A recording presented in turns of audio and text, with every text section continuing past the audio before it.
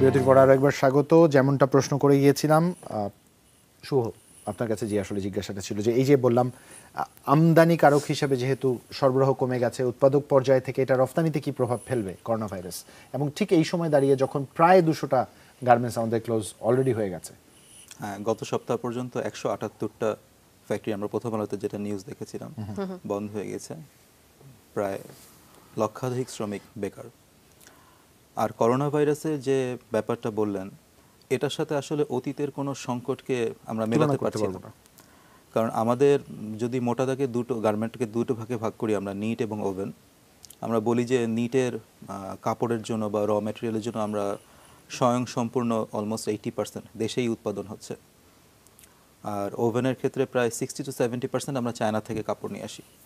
কিন্তু নিটের এই যে স্বয়ং সম্পূর্ণতা এর বাইরেও গার্মেন্টের জন্য যে অ্যাক্সেসরিজগুলো লাগে, এগুলো সব র ম্যাটেরিয়াল আসতেছে চায়না থেকে। এই যে আমরা কাপড়ের ক্ষেত্রে নিটকে প্রায় স্বয়ংসম্পূর্ণ বলছি, এর কাপড় রং করার কেমিক্যালগুলো সব আসছে চায়না থেকে। যে কোনো একটা সময় আমরা আমাদের ব্যবসায়িক পর্যালোচনা থেকে যদি দেখি, আমাদের সামনে, আমাদের হাতে সাধারণত তিরিশ দিনের র ম্যাটেরিয়াল মজুদ থাকে প্রোডাকশানের জন্য। কিন্তু যেহেতু চাইনিজ নিউ এর একটা বড় ছুটি ওদের, বেশিরভাগ ফ্যাক্টরি যারা এফিসিয়েন্টলি রান করে, তারা চেষ্টা করেছে প্রায় পঞ্চাশ দিন বা ষাট দিনের র মেটেরিয়াল মজুদ করে রাখতে। পনেরো থেকে বিশে জানুয়ারি নাগাদ চায়না হলিডেতে চলে গিয়েছিল চাইনিজ নিউ ইয়ারে আমাদের ফ্যাক্টরিগুলোর হাতে সর্বোচ্চ মার্চ মাসের বিশ তারিখ পর্যন্ত চালানোর মতো র মেটেরিয়াল আছে। এরপর কিন্তু ফ্যাক্টরিগুলো একে একে ভালো ফ্যাক্টরিগুলো বসে যাবে। সুতরাং এই এই কারণেই বলছি যে করোনা ভাইরাসের যে ইম্প্যাক্ট এটা তো অনেক কিছুই আমাদের হাতের বাইরে। এটার সাথে অতীতের কোনো সংকটকে আমরা মেলাতে পারছি না। আমাদের দেখতে হবে কীভাবে চায়না এখন ফ্যাক্টরিগুলো খোলা শুরু করছে। সামনের সপ্তাহ থেকে আশা করছি যে ওরা প্রোডাকশনে ভালো মতো যেতে পারবে।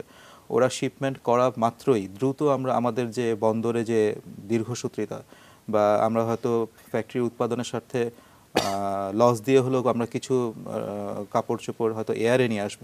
সেক্ষেত্রে আমাদের যাতে এই বন্দরের দীর্ঘসূত্রিতা থেকে আমরা কীভাবে বের হয়ে আসতে পারি? এটা একটা বিশাল বড় বোধহয় প্রশ্ন বিশাল বড় উত্তর এটাতে আমরা ফিরবো। একটু সংযুক্তি আমার মনে হয় দরকার মানে পরবর্তী যেটা জিজ্ঞাসা এরকম ক্রাইসিস তো ঘটতেই পারে। আর যে এত বড় একটা সেক্টর আমাদের আমাদের কোনো প্ল্যান বি আছে কিনা কিংবা ছিল না কেন যদি না থাকে? সেই প্রশ্নটার মানে উত্তরটা আমি খুবই আহ, জানতে চাই। সার্বিকভাবে প্ল্যান বি নেই কেন হ্যাঁ।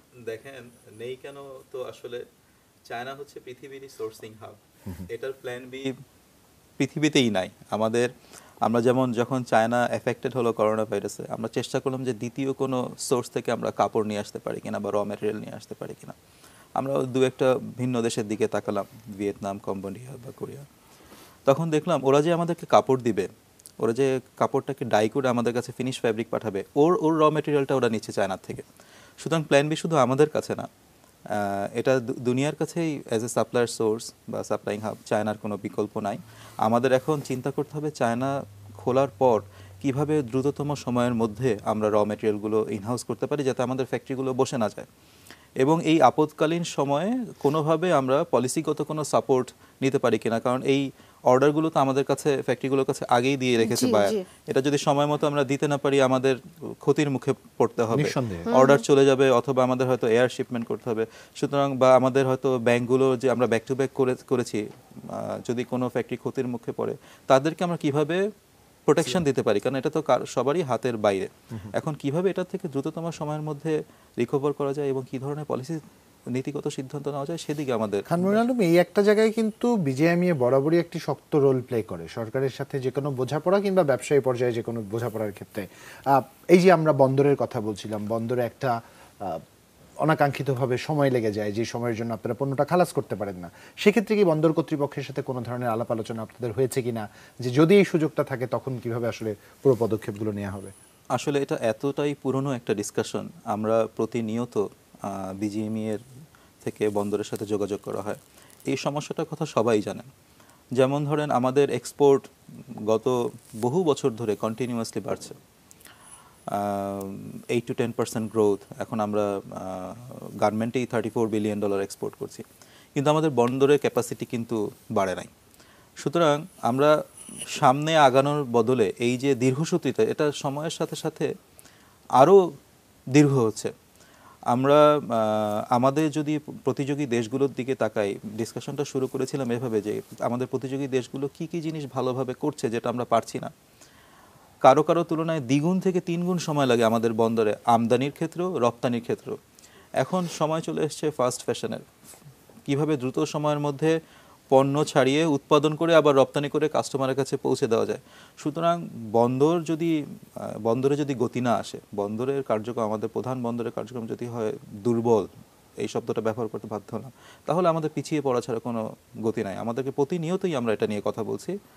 আশা করছি সবাই সদয়ভাবে এটাকে দেখবেন এবং এটা নিয়ে আমরা কার্যকর ফল পাবো। কিন্তু এখন সময় চলে এসছে এটাকে নিয়ে দ্রুততার সাথে কোন একটা সমাধানে কিন্তু এটা তো সদয়ভাবে না দেখার কনসিডার না করার কোনো সুযোগই আমাদের কাছে নাই। বন্দরের যে মন্থর গতির কথা বলছেন, বন্দরের উপরে আমরা চিটং পোর্ট, আমরা প্রচণ্ডভাবে নির্ভরশীল এর উপরে।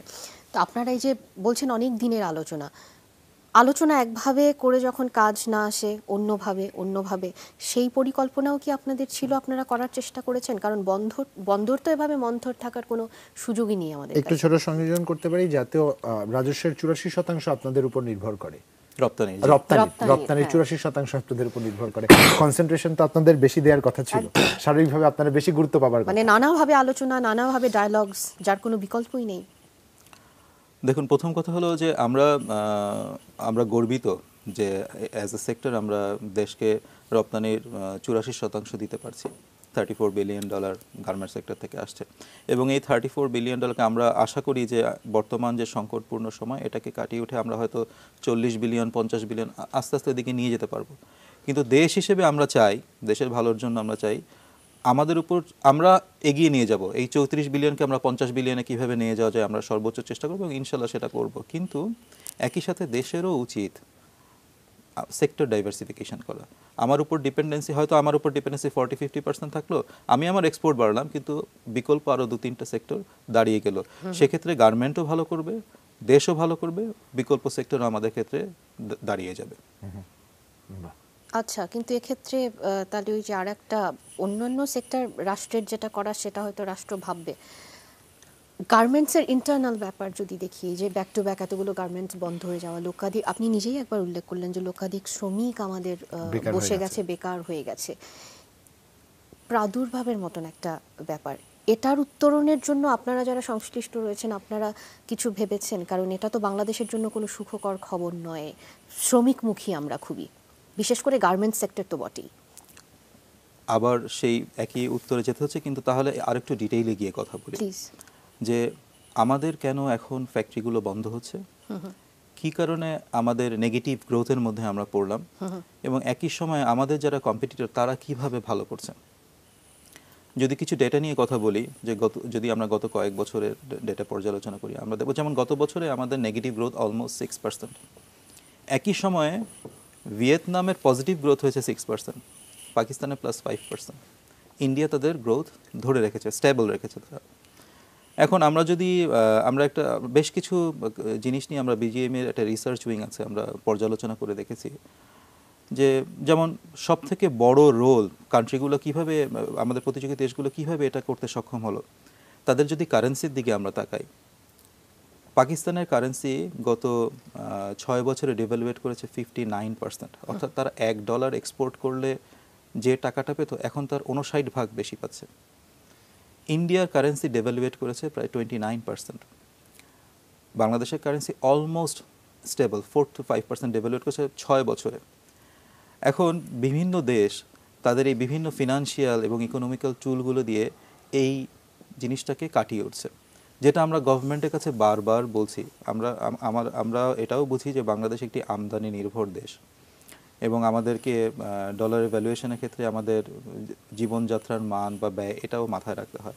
সেক্ষেত্রে আমরা নতুন করে গভর্নমেন্টকে এটাও বলেছি যে যদি আমাদের কারেন্সি আমাদের প্রতিযোগী দেশগুলোর মতো ডেভেলপ নাও করতে পারি অ্যাটলিস্ট রপ্তানিকারকরা, তাদের রপ্তানি প্রবৃদ্ধি ধরে রাখার স্বার্থে যেটুক ভ্যালু আমরা রিটেইন করি আমরা ভ্যালু রিটেনশন বলতে আমরা যদি একশো টাকা এক্সপোর্ট করি সাধারণত টোয়েন্টি ফাইভ পার্সেন্ট বা পঁচিশ টাকা আমরা রিটেইন করি।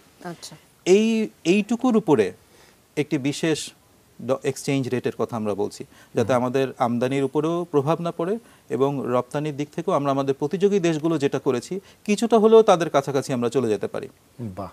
এই আলোচনা কোন পর্যায়ে আছে এটা হয়তো জানবার একটা আগ্রহ তৈরি হবে তবে তার আগে আরেকটা বিরতিতে যাচ্ছি। দর্শক সবার জন্য আলোচনাটা নয় আসলে। হয়তো এমন মনে হতে পারে কিন্তু আমাদের প্রত্যেকের জীবনকে প্রভাবিত করে এমন একটা আলোচনায় আছি। ছোট্ট একটা বিরতির ওপর আবার ফিরছি। সাথেই থাকবেন। আমরা আহ, এই এই একটা খুব কঠিন প্রক্রিয়ার মধ্যে দিয়ে কঠিন বিশ্লেষণের সহজ একটা সমাপ্তি চাচ্ছিলাম। যদি আপনার কাছে আহ, মনে নিশ্চয়ই কিছু আপডেট আছে আমাদের দেবার জন্য। আপডেট আছে এই জন্য বলছিলাম কারণ আপনি সমীক্ষা নিয়ে কথা বলছিলেন বেশ কিছু। আপনার হাতে কিছু কাগজও আমি দেখতে পাচ্ছি। ইফ দ্যার ইজ এনিথিং যেটা আমাদের আসলে জানা উচিত। আমরা জাস্ট সংক্ষেপে একটু বলি।